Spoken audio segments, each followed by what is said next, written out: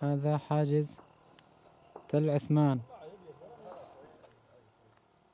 وتصاعد الدخان منه بعد أن قام عناصر الجيش الحر بأسر وقتل واغتنام كل ما فيه وحرق ما تبقى من آليات لكي لا يستفيد منها النظام. إن عاد ولكن بإذن الله لن يعود.